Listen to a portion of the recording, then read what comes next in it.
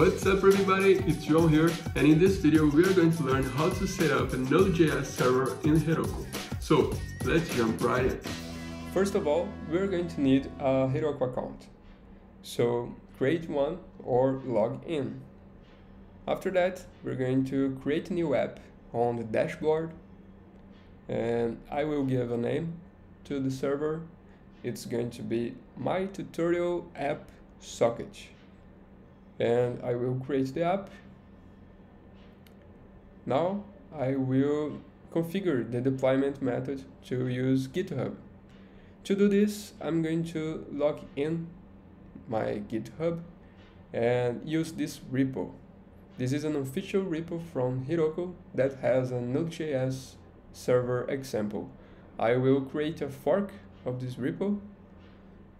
So I'm going to have a copy of this repo inside my account. After creating the fork, I'm going to configure the deployment method on Heroku. So I'm going to select GitHub and connect to GitHub. I will give Heroku my GitHub credentials and now I can search for the repo that I just forked and connect it to it. Now I'm going to enable automatic deploys from the main branch. And on manual deploy, I will force deploy just for us to see the website.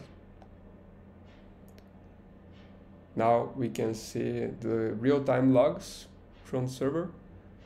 It is installing dependencies, building, and build succeeded. So we can open the app. If we reload, we're going to see the app that we just created. Now let's test if the auto deployment is working. Let's clone the repo that we just forked. I'm going to use git clone with my HTTPS link and I'm going to jump to the folder and now I'll open Atom to edit the server. I'm going to change something on the main screen of the app. And now I will add this change to my commit and commit with the name of my first commit and then push the changes.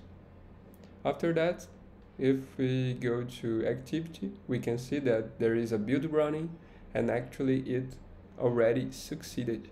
So if we reload the app, we're going to see the change that we just made. We have an auto deployment working. That's it for today's video. Here you can click and watch some new videos and if I helped you, make sure to like and subscribe. See you soon.